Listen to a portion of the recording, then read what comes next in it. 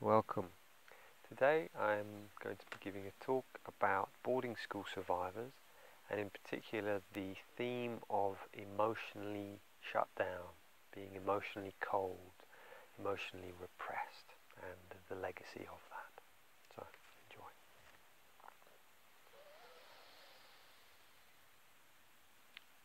So I'm out here. It's a lovely summer's day. It's a little cooler here. Um,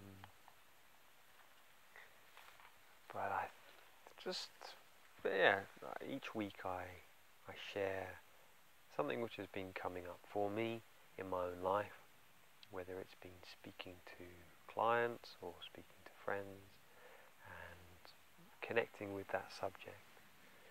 So over the last few weeks I've spoken to a few people about boarding school. I spoke with one chap who went to the same boarding school as me, and I'm also on a forum which is to do with boarding school survivors. And just this theme which came up in my own life through boarding school is this thing about emotional repression. And speaking to people over these last few weeks, I see that we're still struggling, we still struggle with that so I thought I would talk about this for a, for a bit. So, where to start? So, essentially, we get to this age. I think I don't know why it is, but I've heard from different stories. People get to their like their forties, and suddenly it's like, whoa! This realization. You know, I, I know that men certainly have this with the midlife crisis. From a boarding school perspective, it's almost like we get to 40 and suddenly this realization that we're, we're shut down. And for us, it's like a new concept. You know, listening to people speak, they're saying, Oh, I don't have a problem with uh, my emotions. And yet, their partners, their husbands, their wives are going, You're emotionally cold. You're shut down. You share nothing about how you're feeling. You never cry. You never uh, get joyful, it's like this flat line. It's almost like being a zombie. That's how I felt. I was a zombie. I, I couldn't feel. And so it seems around that, that age that we get to that point, it's like we suddenly become aware that, oh, we have a problem.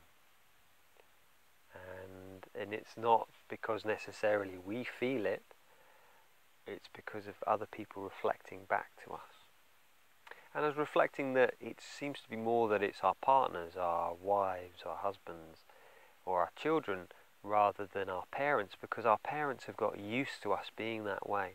I remember when I was about 16, 17, I'd been at boarding school six, seven years, and my mother saying to me, "Oh, what do you think of this?" I went, "That's all right," and she said, "What about this?" And I said, oh, "That's all right." She says, you should never show any emotion. And I didn't say anything at the time, but it's like, well, no. I've learned not to get excited or uh, all down about anything. It's just like this flat line. Nobody knows how I'm feeling. So this legacy, where does it come from? So for me, when we get to boarding school, the age of 7, 8, 11, we are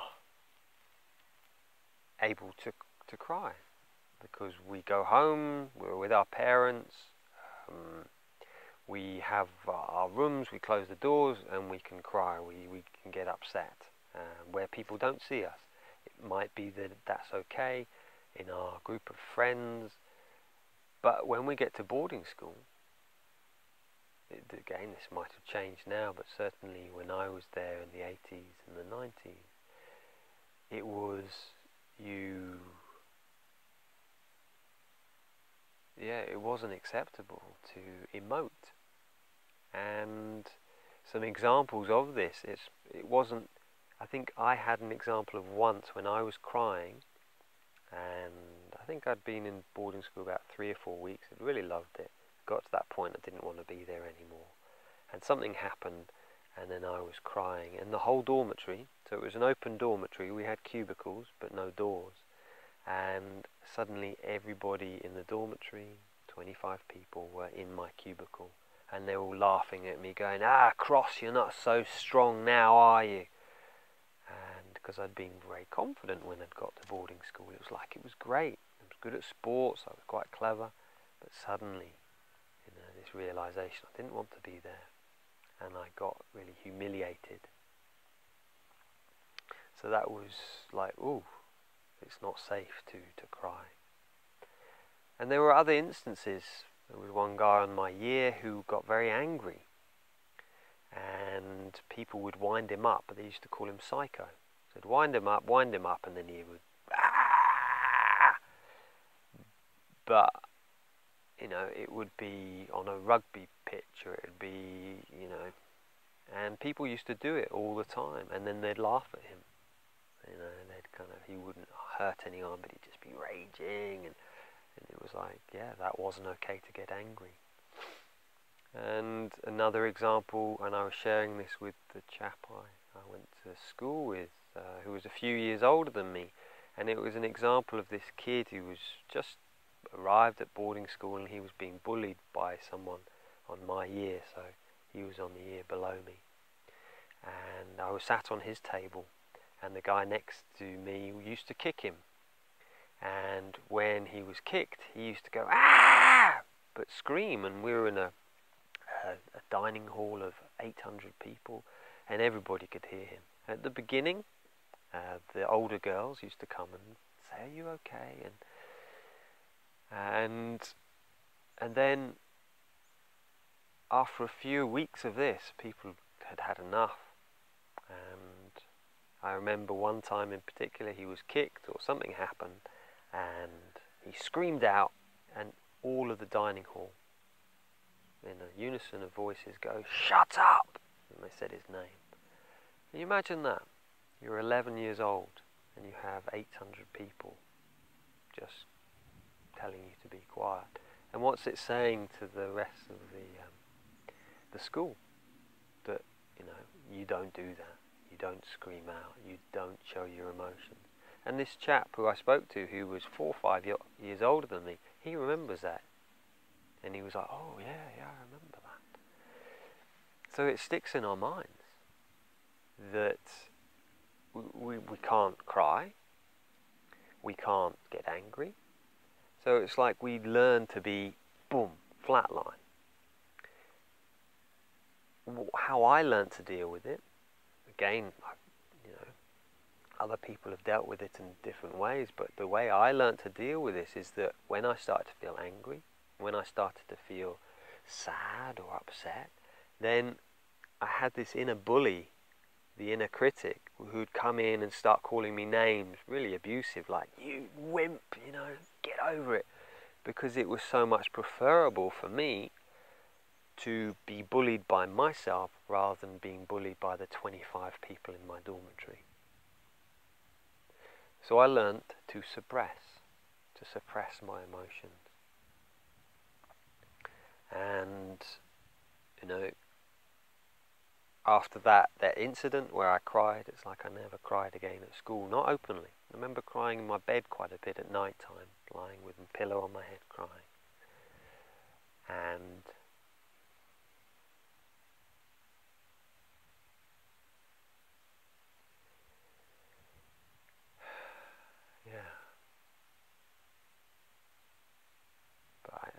after that point I never emotionally showed this. With anger. Uh, it's like I learned to be this silent, aggressive type. That was my way of dealing with it. So I just wouldn't say anything. But I wouldn't rage, but I'd just stare someone down. And so I just got a reputation and people stayed away from me. So it was like my defense mechanism. But what happens, I feel, and why I'm kind of giving this talk, is that those behaviors that we've learnt as a 7, 8 year old, 11 year old, we then continue because, you know, we, we, you know, we keep them going, it becomes a program.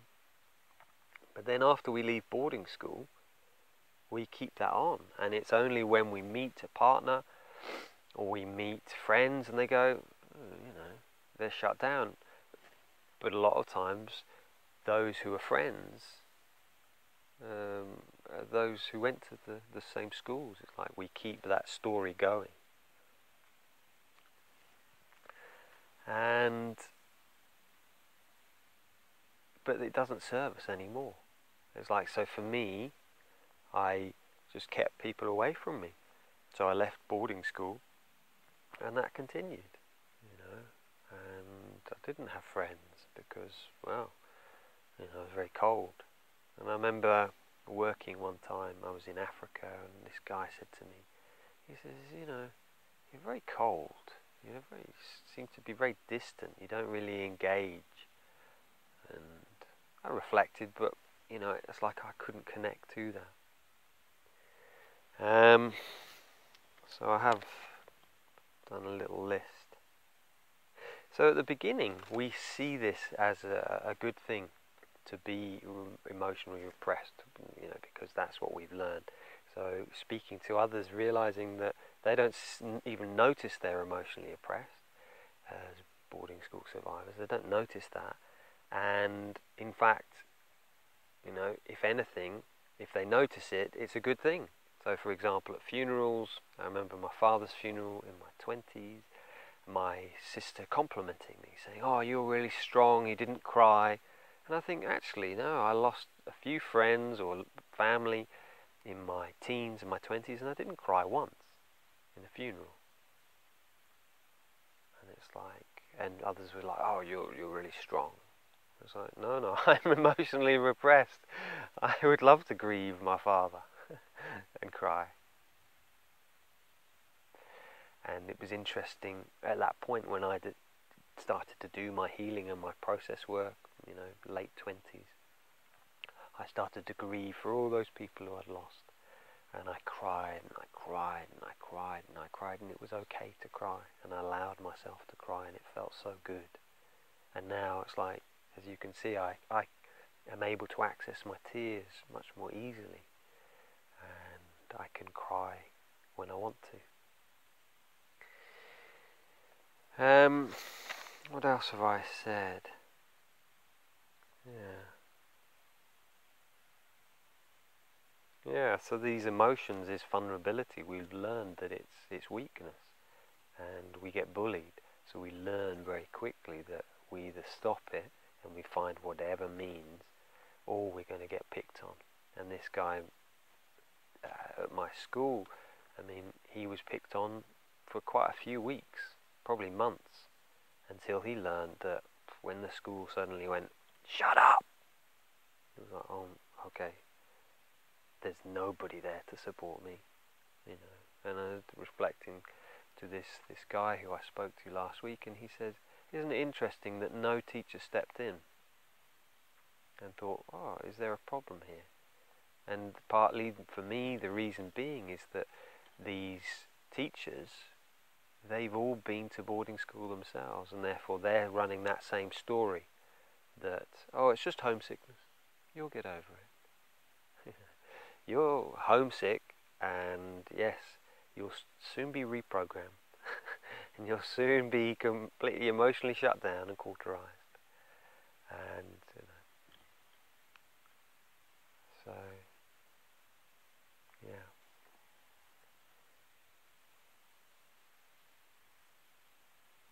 So yeah, so then, you know, the, the final piece for me, this legacy of the emotional repression is that on one level we yearn. we yearn for connection with others. It's like this deep yearning within ourselves as boarding school survivors. We want to be touched. You know, there was no touch for me. You know, if you touched another boy, you were gay. And if you were called gay, that was, you know, that was the worst insult ever. Out of 800 uh, students, when I was at school, nobody came out as gay. No, you know, it was like no, it was the worst insult ever. So this, you know, there was no touch. So for me, it's like we yearn.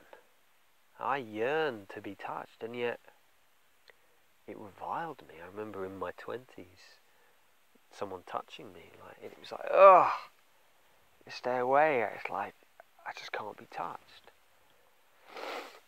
And yet there's part of us that yearns for that connection with others. And yet, where I feel this thing, this, where we get to is where we're kind of stuck. We, we want and we yearn for this, but we don't know how to connect. We don't know how to connect with others and, and feel again. We don't know how to feel.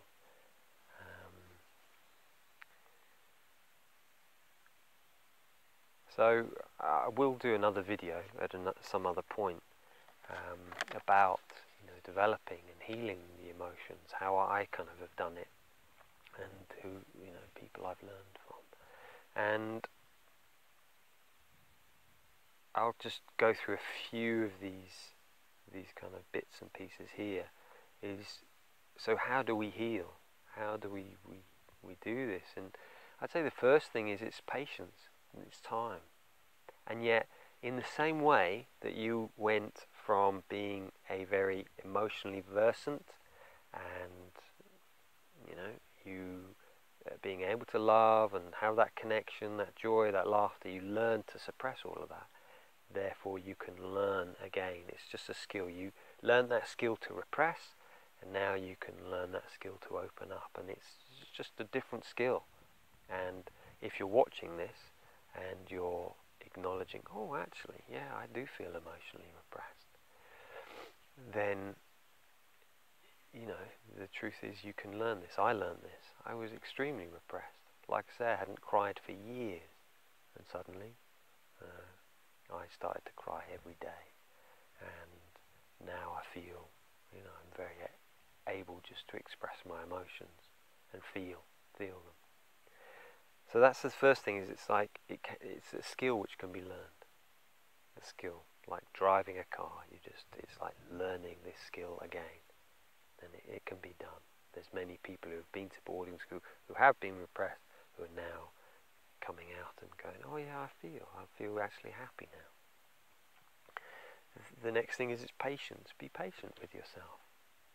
You know, it took you many years to learn that skill of being repressed to get it properly. You know, every now and again you'd have an outburst, you'd get upset, and then you'd go, oh, and you, you learn to suppress. And it's the same thing. It's like being patient, patient with yourself. That I can learn to be to be open to love again. For me, one of the great healings was a, a great therapist. Um, I worked with a Jungian analyst, and found that, you know, I've personally found like counselors or psychotherapists, if they have no experience of boarding school, then for me it was no use. It was just like talking. It was talking and I wasn't getting anywhere. And I spent two, three years just doing that. When I started working with a Jungian analyst, started to work with my dreams and my unconscious, that's when I started to shift. Because it was me seeing myself rather than someone telling me and it was just in the head. And that's what I see with us as boarding school. It's like we're dead from the neck down. You know, we're not in our bodies. We're very clever, you know, because we've learnt to be clever. That's the way we've learned. But we've suppressed the emotion. We don't have a connection with our bodies. So having a really great therapist, um, so to talk through and to work with the unconscious.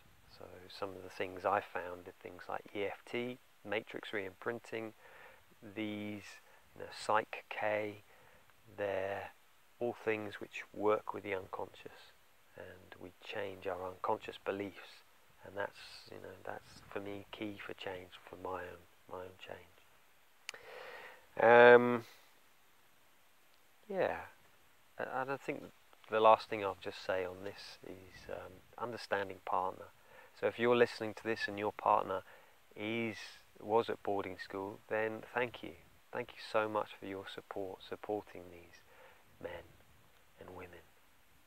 And you know, in order for them to heal, in order for us to heal, it's like having your support and your love and your gentleness and your perseverance. There needs to be a willingness on their part that they're they're ready to change and yet having a supportive like I do. I have an amazingly supportive woman, and when I go into my stuff, she supports me. And yet when she goes into her stuff, I'm there to support her as well. It's, it's a two-way thing. So she wasn't at boarding school, um, but she has a big open heart and really uh, has been ever so patient with me. So I'm very appreciative of that. So yeah, so that for me is the legacy of uh, the emotional repression. It's like we can do it. We can do this, this work, and I, I will do a, a, a longer video about how we open up our hearts and heal. There's lots of exercises that I've learned over the years, and yeah, I can really feel my heart now, whereas I had no idea what someone meant. If they said, oh, what do you feel? It's like, what do you mean, feel? what do you think I am? So, yeah, yeah. So this is a much longer video, but uh, it feels like it's a huge subject and especially if you've been to boarding school, this is one of our main things that we struggle with. I found is this ability to feel again. We've learned to suppress this, and now is our time to reopen and start to feel again, both the pain and the, the happiness, the the joy and the love. It's like feeling it all rather than what we've been is just zombies. We've been zombies and um, we've been shut down and now's the time to start to heal. So hopefully this gives you some uh, inspiration to, to start to search for answers and know that you can do it and that you are doing it just by watching this. It's like that's the right, you know you're in stepping in the right direction. And yeah, please do comment below, and you know any support or any guidance that I can give, then um, yeah, please do ask questions below. And yeah, I wish you well, and uh, I know from my own experience that you will heal your heart, and your emotions will flow again. Many blessings.